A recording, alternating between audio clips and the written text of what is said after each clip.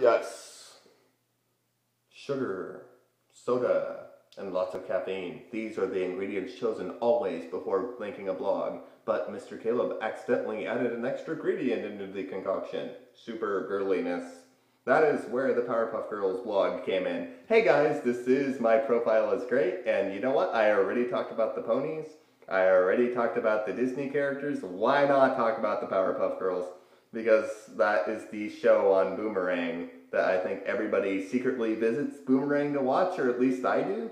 I'm not going to judge the entire continent based off of, you know, my viewing habits, but I ended up discovering this show once again through my GF, who was basically talking about it vaguely at some point, and I was kind of like, oh, you mean to tell me that Laura Faust worked on this show?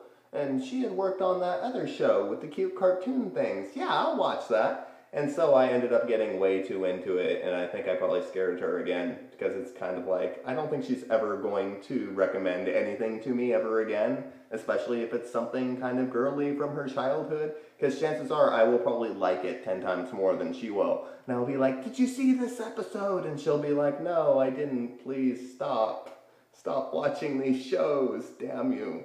I'm, I'm a horrible, horrible person that way. This show is absolutely phenomenally super violent and cute at the same time, which I think makes the appeal like double appealing. There's something about seeing like really cute cartoon characters kind of just beating the crap out of things that makes me giggle. And this show does that very consistently while also being smart.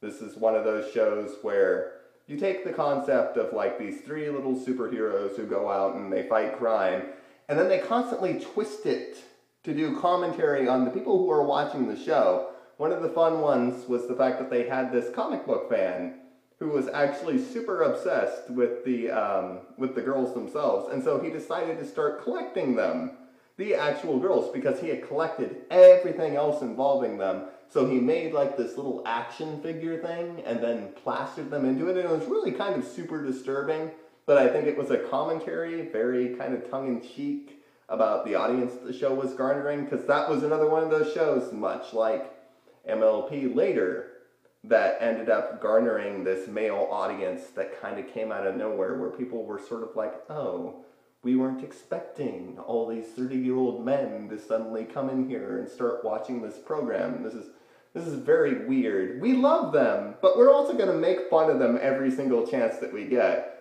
which I always admire creators for doing that. Another fun episode is the one where the a concerned parent group ends up telling the Powerpuff Girls, you know what, you cannot be super violent anymore. We're going to have you sign this contract or else we'll sue the hell out of you. And under this contract, you cannot punch anyone, you cannot kick anyone, you cannot use any of your powers other than like seeing through things. What ends up happening is that the entire town and then eventually like the entire world gets overrun with supervillains because they can't beat the crap out of anybody. So eventually this parent group ends up, you know, they end up falling into a trap where they have to go and save them by the only means necessary, and it ends up that the contract gets voided. So it's a the creators of this show are not afraid to make fun of themselves and to make fun of the audience that is watching the show.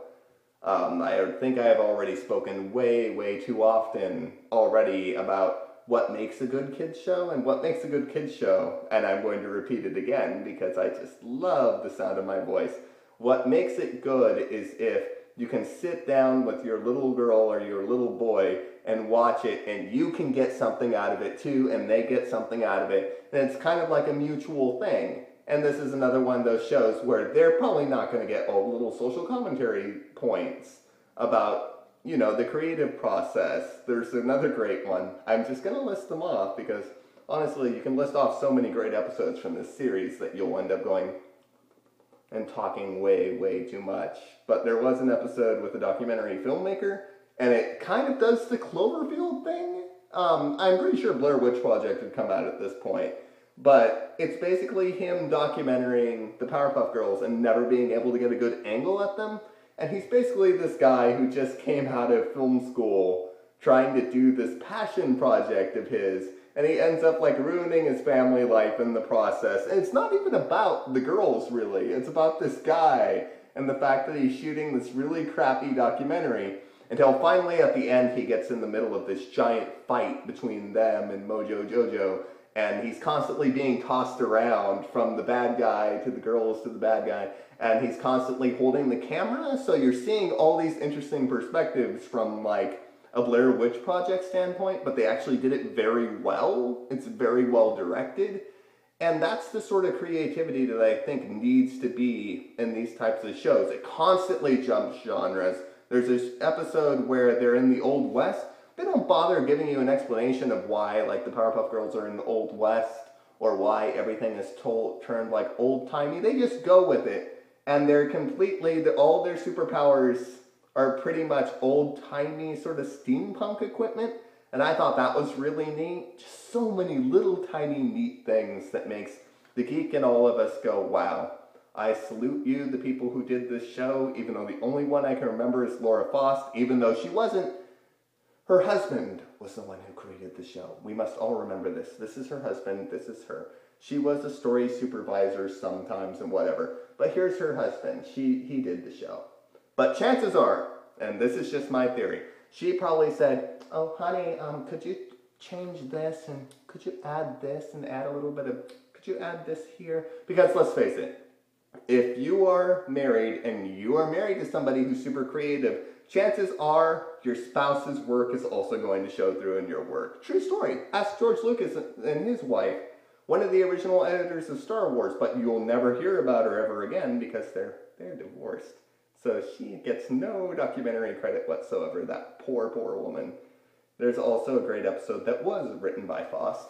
We might as well pick out one that was actually created by her where the girls end up running into a supervillain. She's not really a supervillain more than she's just a regular villain.